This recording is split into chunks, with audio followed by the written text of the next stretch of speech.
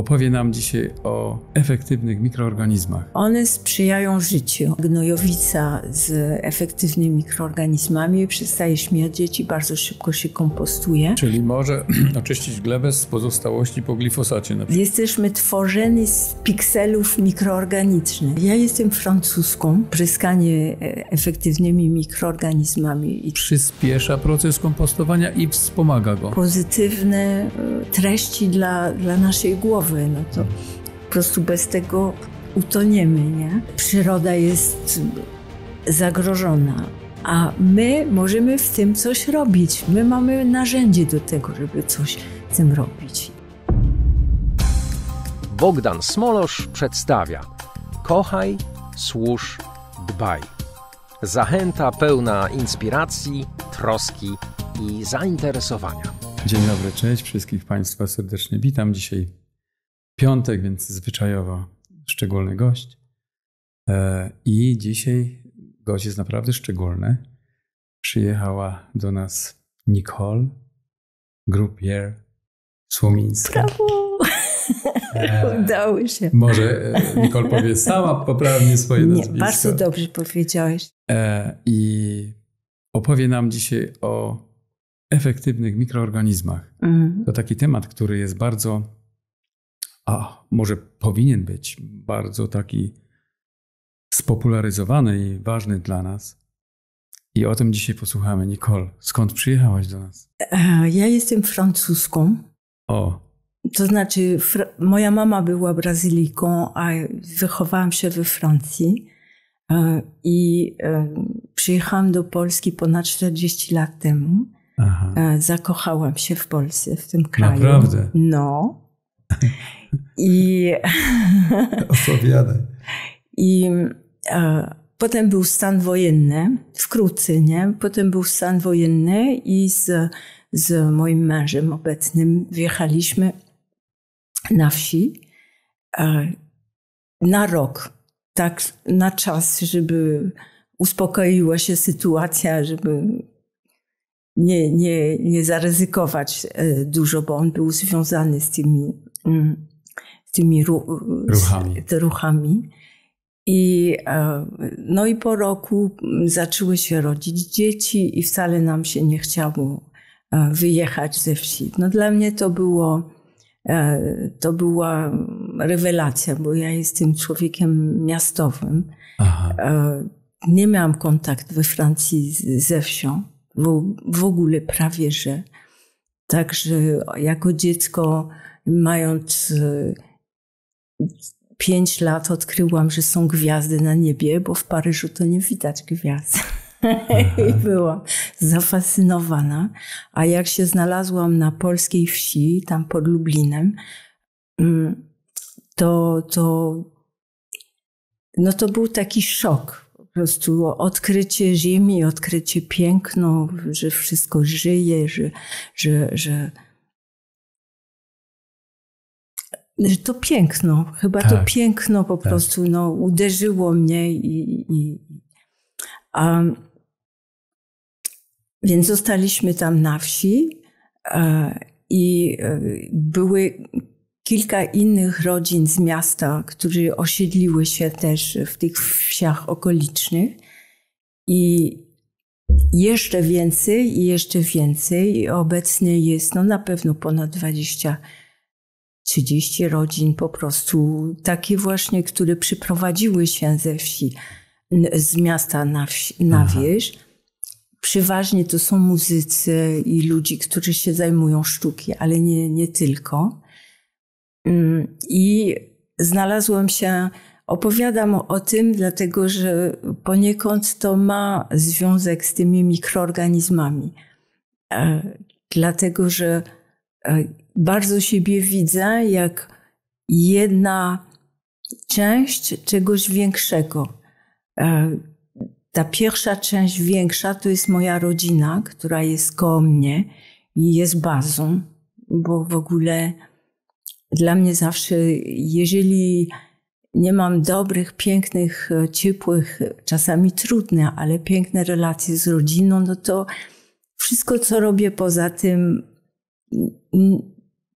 jest tak jak gdyby nie do końca satysfakcjonujący, nie? Mhm. A potem jestem część tej, częścią tej społeczności, która no, ludzie się zajmują bardzo różnymi rzeczami. Czasami się widzimy, czasami nie, nie widzimy się, czasami gramy razem muzykę, czasami robimy święto. Z niektórymi się nie widziałam latami, z niektórymi pracuję na co dzień. I, i ta, jak gdyby ta całość tych ludzi, już teraz, jak minęło no, minęło 40 lat, nie wiem, może, no tak, 40 lat. Mój syn najstarszy będzie miał 40 lat, od kiedy tam jesteśmy. Widzę, jak, jak gdyby w, w ta masa ludzi gdzieś na takim bardzo subtelnym, ale odczuwalnym poziomie zmienia, e, zmienia to środowisko, w którym my jesteśmy. I pamiętam, a takie społeczności w stylu tej naszej, można znaleźć na przykład tam e, niedaleko ciebie, nie? Na Mazurach, tam mhm. w rejonach Pupkach, Węgajte i tak dalej. I pamiętam, jak tam byłam, bo tam są też nasi przyjaciele, wchodziłam tam w tej okolicy i miałam poczucie, że nie da się to mierzyć a, a, żadną miarę naukową, ale ja odczuwałam, że jak gdyby ogólny poziom życzliwości w powietrzu jest większy, tak jak u nas. I no to. Tak, poziom życzliwości to jest w ogóle coś, co powoli zanika, takiej mm, bezinteresownej życzliwości, której no. co, coraz y, bardziej szukać należałoby. No ale mówisz o tej lokalnej społeczności, tam gdzie mieszkacie mm, teraz. Tak, tak. No i odnaleźliście się tam i czujecie się tam dobrze. Tak. No i wy macie gospodarstwo, czy tylko dom, ogród jakiś? Czy... My mamy ogród tylko. Mm-hmm. No, mój, mój mąż jest muzykiem e, i też zajmuje się e, budownictwo, e, takim, takim zgodnie z, z naturą. Z naturą. E, I też ostatnio zaczął uprawiać konopie i, hmm. i, i otwierać pestki konopie, czyli powoli, powoli z takich miastowych 100% e, przysuwamy się w stronę ziemi, ale to jest powolny proces. Nie, nie, nie, nie ma dużej skali, jest, jest po prostu na własne potrzeby i, i nawet trochę mniej.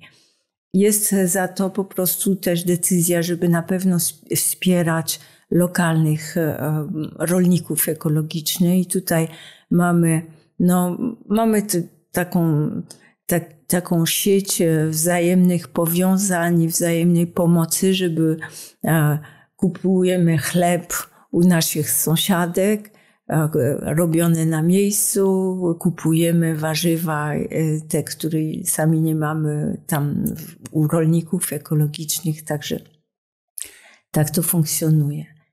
Powiedz mi, zainteresowanie mikroorganizmami, skąd mm. się to u ciebie wzięło? No właśnie to się, to się spotkało z moim zainteresowaniem e, e, społecznością. Bo mm, jak upadł mur berliński, to e, dałam sobie sprawę, że tam po drugiej stronie tego muru jest dużo takich grup podobnych do nas, które się nazywają ekowioski i są związane w sieci ekowioski. I w tym momencie zaangażowałam się i byłam przez jakiś czas e, członkiem zarządu tej sieci ekowiosek.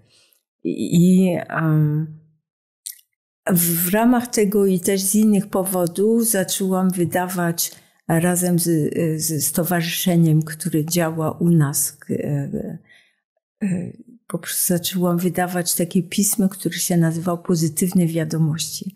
E, bo tak jak ty, uważam, że po prostu bardzo istotne jest puszczać po prostu w eterze po prostu pozytywne e, treści dla, dla naszej głowy. No to mhm. po prostu bez tego utoniemy, nie? I jedna z tych treści najbardziej właśnie e, pozytywnych to były o te efektywne mikroorganizmy. Potem poznałam, poznałam Pawła Zajączkowskiego, który jest szefem i stworzył tą, tą firmę, która się nazywa Greenland Technologii EM i który te E, mikroorganizmy zaczął po prostu produkować razem z Japończykami, e, to znaczy pod, pod, e, pod nadzorem Japończyków tutaj w Polsce. I on mi zaproponował współpracę, a ja właśnie dokładnie te mikroorganizmy na małą skalę to widziałam że one robią to samo, co na dużą skalę zawsze ro chciałam robić, czyli połączyć ludzi dobrą, dobrą, tworzyć coś, co jest, co jest e, jakiś dobre, rezonującą masę ludzką, nie? Mhm. I one właśnie to robią na poziomie mikro. A powiedz, y, same efektywne mikroorganizmy twórca jest w Japonii. I kiedy to się rozpoczynało? Od kiedy to właściwie możemy mówić o początkach? E, początki tego to są, to są też 40 lat temu i to profesor Teruo Hika z Japonii e, opracowywał, opracował taką mieszankę e, około 80 różnych mikroorganizmów, które mają pożyteczny wpływ na środowisko. On szukał jakiś sposób, żeby pomóc rolnikom uwolnić się od nawozów sztucznych, mm, czyli szukał, jakie mikroorganizmy są e, odpowiedzialne za powstawanie e, humusu, e, próchnicy w ziemi i szukając pojedynczy, pojedynczy jeden taki, jeden taki, jeden taki, tylko nie, to do, doszedł do tego, że one po prostu razem działają. I że jest coś takiego jak e, synergia mikroorganiczna i dokładnie, dokładnie to samo, tak jak u ludzi, e, że jak razem, że razem osiągają ten efekt większy niż każdy pojedynczy. Mhm. I że ka każdy z tych mikroorganizmów e, odpowiedzialny za pewien wycinek ożywianie przyrody jest wspierany przez wszystkich innych. I e, no, profesor Teruo Higa to jest osoba, którą og ogromnie szanuję. Jest, e, miałam okazję właśnie go spotkać raz. Jak był, jak był w, w Polsce. E, to był akurat czas, kiedy byłam, kiedy były, e, kiedy były w Polsce, to było 2010, były te wielkie powodzi. I wtedy on, akurat była taka konferencja, gdzie on był. I on wtedy inicjował razem z Greenlandem po prostu wielką e, akcję, popryskanie tych terenów najbliższych tam tam gdzie jest ta firma, e, pryskanie efektywnymi mikroorganizmami i to było imponujące. E, ta firma Greenland to właśnie jest koło Janowca. Janowiec był zalany wodą. Woda odpuszczała, smród, smród był strasznie i po e, pryskanie tymi mikroorganizmami no dwa razy, straż pożarna tam chodziła, no to smród po prostu zniknął. I ludzi dostali każdy po baniak tych EM-ów i, i dzięki temu no, ratowali swoje domy przed, przed pleśnienie, przed, e, uratowali część mhm. dobytku i bardzo szybko przyroda e, jak gdyby odbiła. Więc interesuje mnie, jakie znajdujemy zastosowania do e, mikroorganizmów tego typu gdzie możemy je użyć i dla kogo one stają się pożyteczne i gdzie są łatwe w użyciu, w dozowaniu? One są w ogóle są bardzo łatwo w użyciu, e, bo e, na początku e, był tylko jeden produkt, mm, który trzeba było samemu namnażać i on służył do wszystkich, do wszystkich celów, co jakoś w naszych kulturach jest niemożliwe, no bo to jest też normalne, że nie można. E, e, że nie można tym samym produktem używać do sprzątania i, I do picia. I do picia, na przykład. Um, te, te um, produkty E, później po prostu powstała taka dywersyfikacja i każdy produkt po prostu miał swoje, swoje przeznaczenie. Całe grupy towarowe. Tak. Na początku wszystko, co służy do gleby i do rolnictwa, i to jest do rolnictwa i do ogrodu, i tam są produkty e, tak które działają jak nawozy dolistny, doglebowy, środki ochrony roślin czy ukorzeniaczy na przykład. To jest jedna kategoria. Druga kategoria to jest e, to, co się stało później. Okazało się, że można używać te produkty w hodowli. I to są probiotyki dla zwierząt, w dużych i małych e, ilościach w domu, tak jak i w wielkich hodowlach. I produkty, które służą do przetwarzania materii organicznej, które e, pozwalają na przykład, że w tych oborach, mm, jeżeli pryskamy mikroorganizmami, efektywnymi mikroorganizmami, nie ma tego smrodu bo te gazy zostają po prostu uwięzione jak gdyby w tym podłoże. Dlatego od razu są o wiele e, bardziej e, zdrowotne i, i przyjemniejsze warunki dla zwierząt i dla ludzi, którzy tam pracują. Bo um, na przykład traktowana gnojowica z efektywnymi mikroorganizmami przestaje śmierdzieć i bardzo szybko się kompostuje.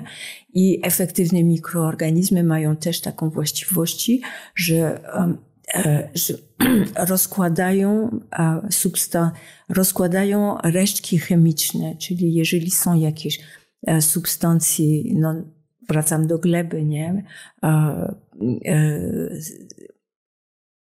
Na przykład e, porondapu, żeby go nie cytować, no to szybciej, szybciej po prostu e, jest oczyszczona ta gleba. Czyli może oczyścić glebę z pozostałości po glifosacie na przykład. Tak, tak. Tak. tak. I tych innych świństwach. Dokładnie. No.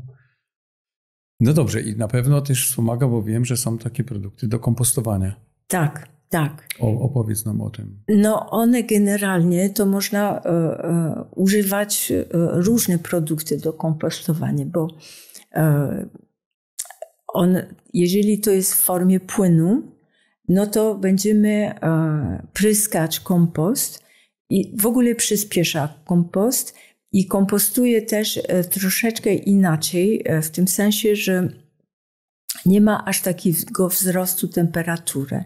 I teraz w tym procesie kompostowania biorą udział tak samo e, e, tlenowe, jak i beztlenowe. I e, to jest taka, tak, tak, taka różnica wobec klasycznego kompostu, gdzie próbujemy unikać beztlenowych, mhm. przywracając ten kompost bardzo często. I teraz, jeżeli chcemy robić kompost z emami, to możemy przyspieszyć e, e, przywracając, ale nie musimy tak często i też nie musimy, jeżeli jesteśmy gotowi, czekać trochę dłużej, chociaż i tak to będzie krócej niż jeżeli po prostu zostawiamy rzeczy samych e, sobie. Ale to pryskamy powierzchniowo, czy przy, w czasie przykładania warstwy musimy pryskać? To, to właśnie zależy, jaki, na jakiej etapie jesteśmy. Jeżeli jesteśmy na etapie, że tworzymy ten kompost, to możemy a, a, po prostu najlepiej robić warstwy. I teraz można robić te warstwy z, a, pryskając, można robić te warstwy posypując e, otrębami, e, które są fermentowane z, z emami i też przyspieszają.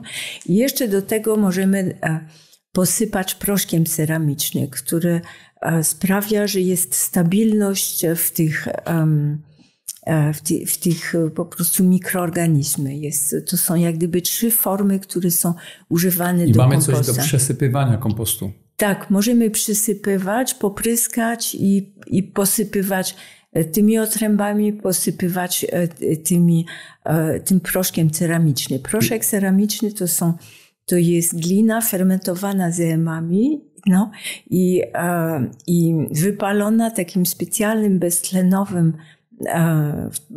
przy takim procesie beztlenowym który sprawia, że w tym proszku ceramicznym, w tych ziarenkach zostają właściwości tych mikroorganizmów i one przyciągają te mikroorganizmy.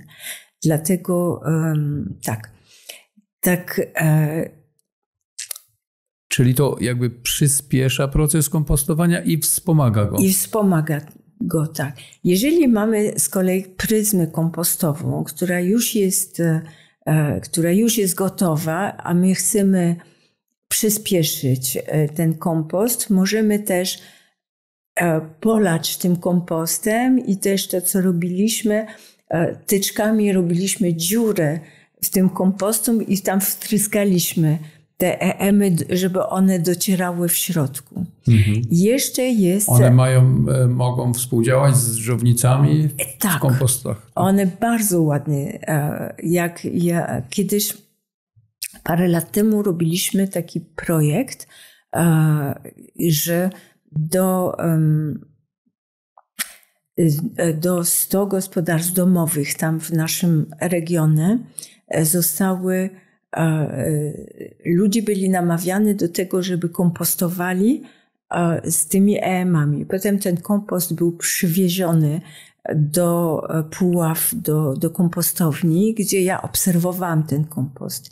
I o ile ten e, w tym kompoście obok, który widziałam, było mnóstwo tych białych takich robaków, takich, e, to tam było pełno dżownic tym kompoście EM-owym. Mhm. I teraz to jest, w tym projekcie używaliśmy E, taką formę kompostowania, którą stosuję i, i które polega na tym, że przed wkładaniem do kompostu odpady organiczne są prekompostowane, że tak powiem. Jest takie specjalne wiaderko, e, gdzie odkładamy warstwami e, odpady, odpady domowe i, i, później, e, prosz, e, I później ten proszek e, otręby. bokasi te otręby i jeszcze takimi mhm. warstwami i wtedy i ten, ten płyn, który powstaje jest odprowadzony.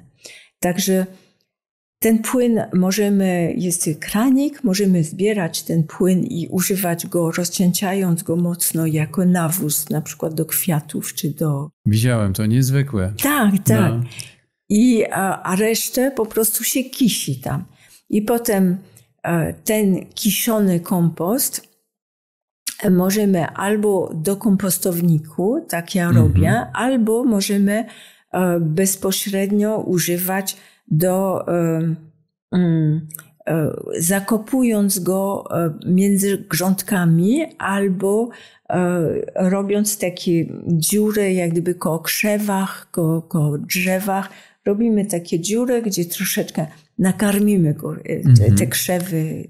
ja wiem, tylko to jest takie, ja o tym myślałem, tylko to są małe ilości, bo my często potrzebujemy tego kompostu znacznie, znacznie więcej. Tak. Nie, to nam te wiaderko to tak do, może do domowych do, zastosowań. Do, do, domowych zastosowań. -hmm. No jak my ostatnio w zeszłym roku to robiliśmy z kolei taki bardzo duży kompost.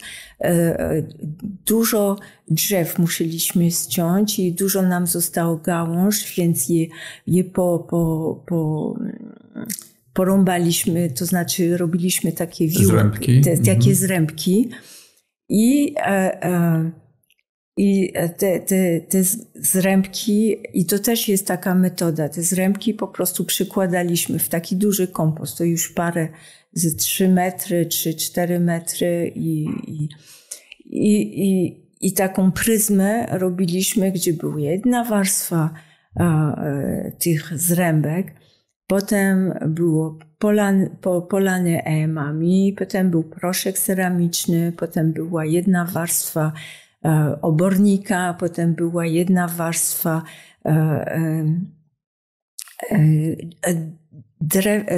drewno węglowy, ten, mhm. ten węgiel drzewny. węgiel drzewny i tak dalej. I, I to jest kompost, który będziemy używać w tym roku. Aha, czyli to razem wszystko kompostowało? Tak, tak. I to użyjemy później? Tak. No ja wiem, tylko jak, jak to wspomagać takie duże kompostowniki, bo ja takie no metr na metr na metr, czyli takich mam mm. kilkanaście. Tak. I to są już gotowe e, pryzmy mniej lub bardziej przekompostowane.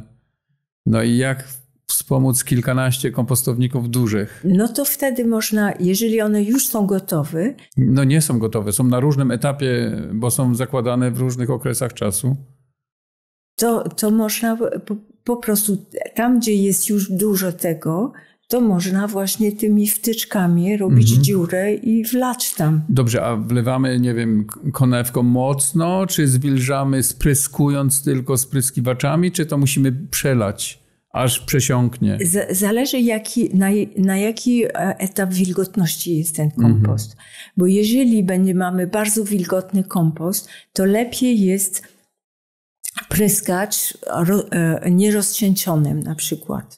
Mhm. Jeżeli jest bardzo wilgotny, nie? Ale na ogół to jednak lepiej jest wodą, e, żeby pomóc temu się roz, roz, roz Mhm. I wtedy e, więcej lub mniej wody, zależnie od tego, jaki, jaki wilgotny jest ten kompost. Aha. No dobrze, i teraz przejdziemy do wspomagania roślin, które już rosną. Mówisz, że możemy opryskiwać dolistnie? Najpierw powinniśmy zadbać o gleby, nie? Tak. To jest pierwsza rzecz. Także, że... Drzewa owocowe? Tak, tak samo. To po prostu najpierw trzeba... Y najlepiej jesienią jeszcze opryskiwać y, y, jakby całości, żeby cała ta materia organiczna, która tam zostaje, liście i wszystko, żeby to się kompostowało i wróciło. Zostawiając te mm, łodygi, zostawiamy wszystko, ewentualnie rozdrabniamy i pryskamy. Ja tu potem jeszcze e, e, e, przykrywam to jeszcze właśnie tym tymi zrębkami czy tym kompostem jeszcze nie przyrobione do końca. Takie ściółkowanie. Takie ściółkowanie, tak.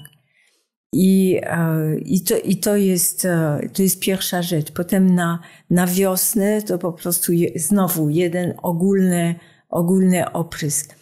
W ogóle mam, ja mam zamiaru e, e, u, u, mnie w ogrodzie po prostu starać się jak najczęściej w ogóle pryskać całości bez, już bez... Bez opamiętania. Bez opamiętania, bo, bo, bo e, i często, bo to też jest jest to z efektywnymi mikroorganizmami, że lepiej mniejszą ilość, ale częściej. Mhm. I teraz, jak już po prostu zadbaliśmy o tej gleby i o to, żeby ona była ściółkowana i żeby tam było to pożywienie w środku, no to wtedy e, e, jakby e, jak, jak robimy grządki, to możemy dodatkowo jak gdyby pryskać tą, tą glebę, po prostu poruszać i w, te, i w tym siać, nie?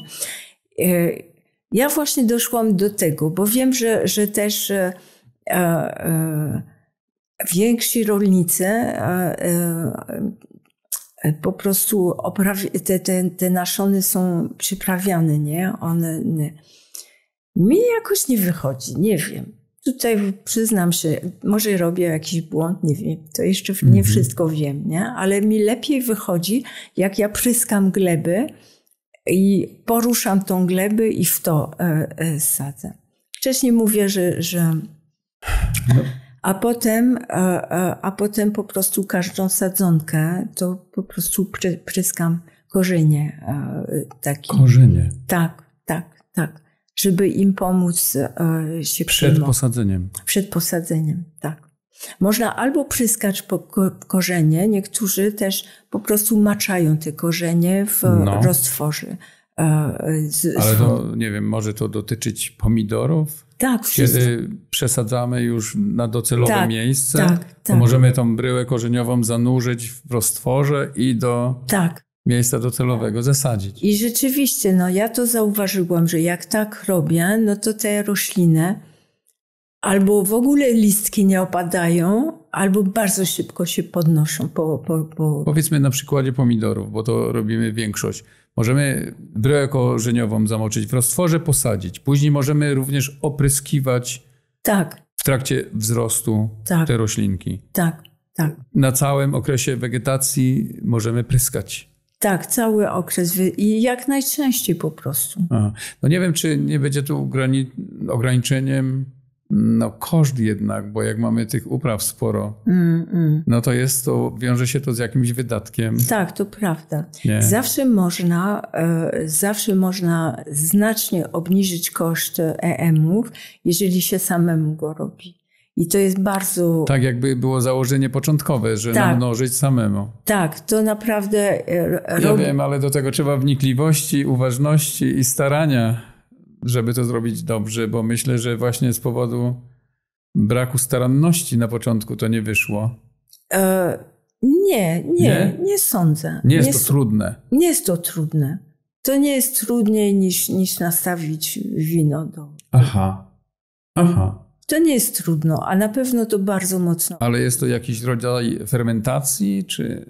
To się robi tak, że ma się ten roztwór bazowy, który się nazywa EM1 i ma się tą melasę i to roz, rozpuszczamy melasę e, w ciepłej wody, No. dolewamy, e, dolewamy wody, dolewamy EM. No, e, no, szybciej się robi, jeżeli mamy, e, e, e, jeżeli mamy stałą temperaturę. Ale można też po prostu owijać to e, w kocu, e, na przykład baniak pięciolitrowy, owijać w kocu i czekać te No to 8. ja mam takie specjalne komory fermentacyjne, to ja sobie no to będę... bez problemu. Bo ja potrzebuję dużo, nie? Bo ja mam roślin w tysiącach. No, e, zagonów, dziesiątki i teraz Mm. jak to wszystko by trzeba było namnożyć.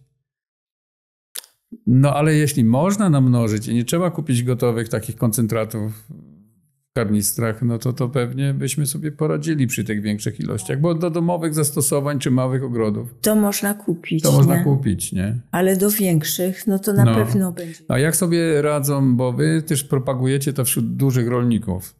No jak oni sobie z tym radzą? Bo rolnicy, jak wiemy, nie chcą wydać dużo, żeby glebę poprawić, jeśli to nie jest syntetycznym nawozem. Mm. Z tego co wiem, ja bardzo nie, nie, nie wiem, bo trudno jest uzyskać informacje, bo ja się bardziej zajmuję e, e, ogrodami i tak dalej. Przyznam się, nie mam bardzo dużo Mhm. kontaktu z rolnikami, poza tym, co czytam. I e, z tego, ale z tego co wiem, mm, większość rolników używa jako dodatkowy. Aha. E, do, to im pozwala, e, e, pozwala im konwencjonalnym środków używać znacznie mniej Mniej. i mają lepszy efekt. I więksi rolnicy już są, są mm, gotowi do tego, żeby wydać pieniądze. Oni już po prostu na inną, inną skalę funkcjonuje. Jak patrzę i czytam tego, co się robi za granicą na przykład, no to widzę, że e, samymi EM-ami i takimi naturalnymi metodami to niektórzy po prostu e, ogromne obszary potrafią uprawiać. I, i e, właśnie najbardziej używając ten kompost, najbardziej mi się wydaje, z tego co czytałam, tutaj to jest wiedza słyszana i czytana, ale i do tego najbardziej e, na- namawiają jak gdyby e, e, EM-owców, to jest to, żeby robić sobie kompost. I, I wtedy to też jest i bardziej ekonomiczne. A rolnicy dysponują bardzo dużymi resztkami organicznymi. Czy oni są hodowcami, czy nawet jeżeli oni tylko e, e, Uprawiają. uprawiają, to oni dysponują. Poza tym, że widziałam, niektórzy na przykład zbierają resztki organiczne, nie wiem, z, z, z, fabryki, gdzie robią soki, nie?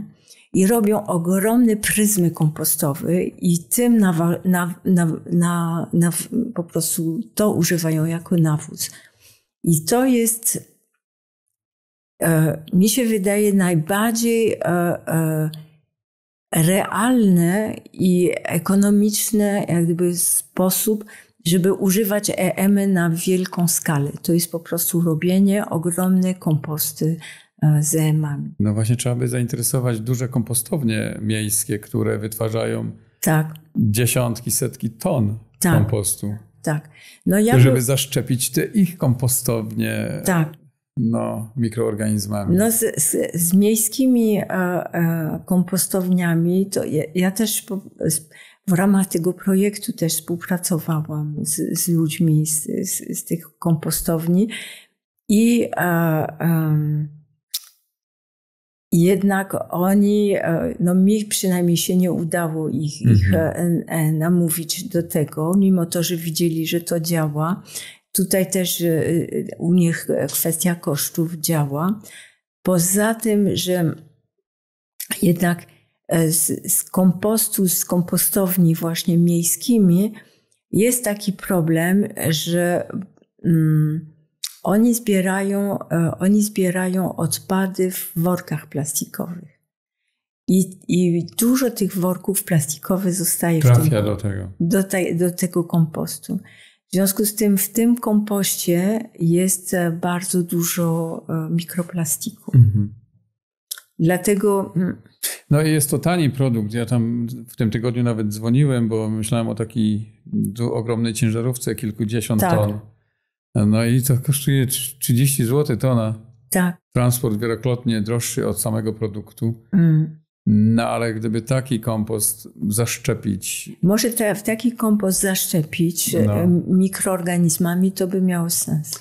Bo potrzebujemy dużo materii organicznej, dobrze przekompostowanej. To sztuka kompostowania nie jest wbrew pozorom taka mm. prosta, jak nam się wydaje, bo, bo wtedy potrzeba wiele czasu, żeby to mm, taki nieszczegółowy sposób skompostować resztki organiczne. Tak. Czy, czy takie właśnie typu zrębki jeszcze, czy, czy to potrzeba czasu. No ale to, co mówisz, to bardzo mi się podoba. My wszyscy, którzy teraz tworzymy nasze ogrody, nasze uprawy, czy to roślinne, ziołowe, mm. mm. no szukamy wsparcia naturalnymi środkami, więc tu jakby efektywne mikroorganizmy doskonale się w to mm wpisują. Macie na pewno takie, masz doświadczenia. Jak to? Ja znam rolników, którzy jakby na bazie emów tylko swoje ekologiczne uprawy tak.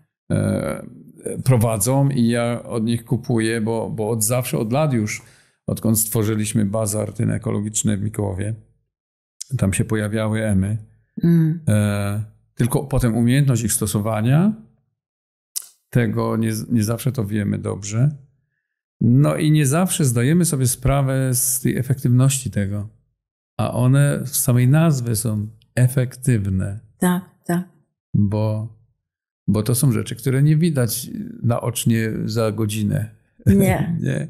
To po prostu częściowo chyba jak na bazie, nie wiem, czy tylko wiary w to, bo doświadczenia jednak pokazują, że działa. Tak, ja, ja tu mam takie doświadczenie e, z moimi sąsiadami, nie? które na początku kupowali EM i byli bardzo zadowoleni. Na przykład taki pan, który ma winnicę koło mnie. I, I potem no, wszystko szło bardzo dobrze, więc zapomniał o tym, nie?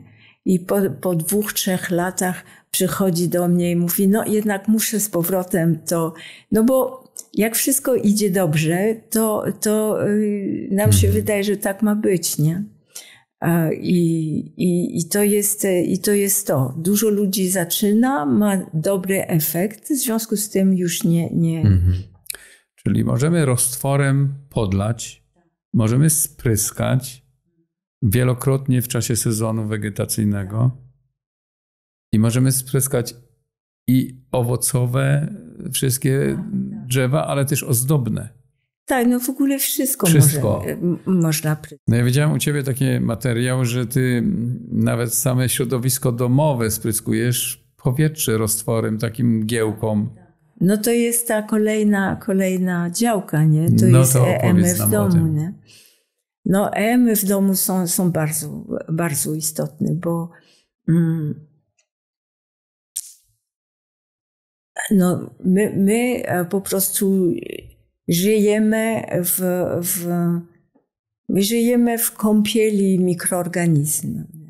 Po prostu Środowisko, w którym przebywam, jest pełne. Tak, to, to, to, jest, to jest taki raster, to jest taki tło.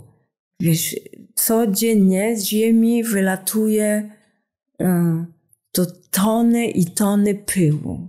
A ten pył um, po prostu krąży wszędzie. Jest u nas, jest w nas, jest, leci tam. A na każdym żarenku pyłu są miliony mikroorganizmów. Także my żyjemy, to jest jak gdyby nasze tło, no. to, jest, to, to się, to, to jesteśmy tworzeni z pikselów mikroorganicznych. I teraz każdy z tych mikroorganizmów, na każdy z tych żarenków pyłu coś robi. Nie, nie to, że sobie podróżuje, coś robi, wydziela, e, e, hamuje, to, a jeszcze do tego komunikuje się z innymi. A jak nie widziałem? E, no właśnie. To jest właśnie to cudownie, e, że teraz po prostu wiemy e, o tym świecie niewidzialnym e, dużo. Mhm. I już stajemy się świadomi, że, że na nas wpływają po prostu ogromne dużo rzeczy, których po prostu nie widzimy, nie słyszymy. I teraz to tworzy taki fenomenalny internet te mikroorganizmy. One są, one wszyscy się komunikują ze, ze wszystkimi, a one mają taki jeden cel. One sprzyjają życiu, one po prostu wprowadzą harmonię, wprowadzą równowagę. Ale mamy je tylko pozytywne? Nie, jasne, że nie, ale te, te negatywne też mają swoją rolę. Mhm. Też mają swoją rolę. Te, które e, e, my odczuwamy jako negatywne, są po to, żeby to, to, to, no tak jak drapieżniki e, mają e, rolę, żeby ustabilizować populację zająców, powiedzmy, mhm. no to też te, te po prostu drapieżniki, mikroorganizmy też mają taką taką swoją funkcję i wszystko funkcjonuje jak trzeba, póki nie, e, nie ruszamy tą równowagę. I my za pomocą tych produktów chemicznych, za pomocą po pierwsze, redukujemy tą ilość mikroorganizmów. E, niektóre mikroorganizmy są, ginący, są ginącymi gatunkami, tak jak, -hmm. tak jak zwierzęta.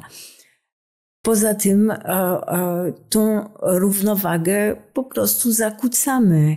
I dlaczego w szpitalu są najgroźniejsze formy mikroorganizmy i zarazy? No dlatego, że one są tępione, tępione, tępione, tępione. W związku z tym wytwarzają się najbardziej Aha. agresywne i najbardziej e, przetrwają jak gdyby te, które po prostu no, a jest tak, że te pozytywne coś mogą zrobić z tymi negatywnymi, one się mogą zwalczać nawzajem, czy? Właśnie to, to jest takie, to jest to inne myślenie, wiesz? To jest to, że mm, te negatywne, one po prostu y, są rezultatem środowiska, w którym żyją. One zaczną atak, one są zawsze. Wszystkie są, nie? ale zależy, które są dominujące w danym środowisku, to te, które szkodzą nam, będą mieli sygnał o tym, że o, okej, okay, jest nas wystarczająco dużo, ochrony jest mniej, lecimy, atakujemy, nie? I one, nie, to nie jest to, że się zwalczają bezpośrednio, tylko one twarzają warunki, w którym tamte nie mają jak gdyby dobrych możliwości e, rozwijania się. jak to zawsze jest tak, taka, taki przykład, że jak wszystkie miejsca są zajęte przez, szkołę, przez stole, to po prostu niepożądany intruz nie ma gdzie usiąść. Mhm. I, to, I to jest na tej zasadzie. To jest w zasadzie jak gdyby tło. E, te same mikroorganizmy, na przykład w naszym ciele, one mogą bardzo nam sprzyjać i są potrzebne, ale jeżeli one się nadmiernie um, rozwijają, tak jak candidas na przykład. Jeżeli, tak. jeżeli najmniej się rozwijają dlatego, że brakuje to, to, czy, czy mają odpowiednie warunki, to one stają się szkodliwe dla nas. I e, to jest, e, no w socjologii też to jest, nie? że po prostu e, tło jak gdyby jest e, odpowiedzialne za e, rozwoju takich albo innych zachowań. No bo to powiedzieliśmy sobie, że ma pozytywny wpływ na rośliny na wszelkich etapach rozwoju, czyli od korzonków, sadzonek, mm. od gleby, mm. aż po zbiór owoców. Mm. Czyli co, aż do końca już mamy, nie wiem, na drzewach jabł jabłka i dalej możemy pryskać? E, no nie ma problemu, bo w związku z tym, że możemy pić te, te mm emy, no oczywiście nie te, które używamy teraz, e, dedykowane do rolnictwa, mm -hmm. ale może one po prostu, nie ma okresu gwarancji. Rozumiem, karencji. Nie mm -hmm. ma. Rozumiem, czyli możemy wspomagać nasze ogrodowe uprawy. Tak. Cały czas. I wracając do domu, nie, tak jak, no to po prostu dom to jest nasze tło, nie? To jest mhm. tamto miejsce, gdzie po prostu spędzamy mnóstwo czasu i najwięcej. Jemy, śpimy i tak dalej. W związku z tym, na tym poziomie, jak gdyby mikroorganiczny, co my mamy, jest bardzo istotne. E, no, ludzi, którzy mają na przykład grzyby w domu, chorują, nie? Mhm. A, a, e, a EMy potrafią bardzo pomóc na przykład przy tym. Przy na przykład zagrzybiałych ścianach. I, I, często tak jest w starych domach, że mamy dużo tak, wilgoci, tak, tak. zagrzybiałe ściany, pleśnie tak. i, i, dzieci chorują. Mm. A wtedy, nie wiem, nawet spryskując to tak. emami możemy odwrócić. Jakby. Oczywiście, że w takiej sytuacji to zawsze trzeba się zastanowić, jak, jak e, zmniejszyć to źródło wilgoci. Nie? To jest baza. Ale jeżeli nie można, albo jeżeli, nawet jeżeli już to zrobiliśmy, no to systematyczne pryskanie te ściany i w ogóle całe środowisko EMami sprawia, że te E, mikroorganizmy, te grzyby patogenne po prostu mają o wiele, o wiele trudniejsze warunki do rozwoju i się nie rozwijają. O, ogromne znaczenie to musiało być, bo ja pamiętam obydwie te powodzie w 97 tak. i w 2010, bo ja wtedy mieszkaliśmy w okolicach Kędzierzyna, to tam wszystko było pod wodą. E, I później pamiętam te wszystkie domy w no. tych kłopotach i tarapatach. Tak. Potem zawilgocone mury, ściany, gdzie to miesiącami tak. E, się namnażały różne grzyby i pleśnie. No to, to było tam w tym Janowcu, no robiłam filmy na, na ten temat właśnie tam z Greenlandem. Najpierw podczas akcji, a potem e, parę miesięcy później rozmowy z mieszkańcami. No to po prostu było no no porażający, jaki, mm. jak, to po prostu pomogło im. Normalnie po takiej powodzi smród się utrzymuje aż do następnego sezonu wegetacyjnego. A mm. tak w tydzień to było zlikwidowane. Niesamowite. Czyli jakby to pokazuje tą skuteczność, której my no, sobie nie zdajemy sprawy, co mikroorganizmy są w stanie zrobić w środowisku. Tak pokazuje, ile mamy możliwości, nie? Po prostu rozpaczamy, że, że ziemia jest tak zatruta, że rzeki są tak zatrute, że, że wszędzie po prostu e, przyroda jest zagrożona. A my możemy w tym coś robić. My mamy narzędzie do tego, żeby coś z tym robić. I to jest, to jest hmm. no to mnie to no zatyka. Subskrybuj kanał Piekarza i szukaj powodów do wdzięczności w życiu każdego dnia.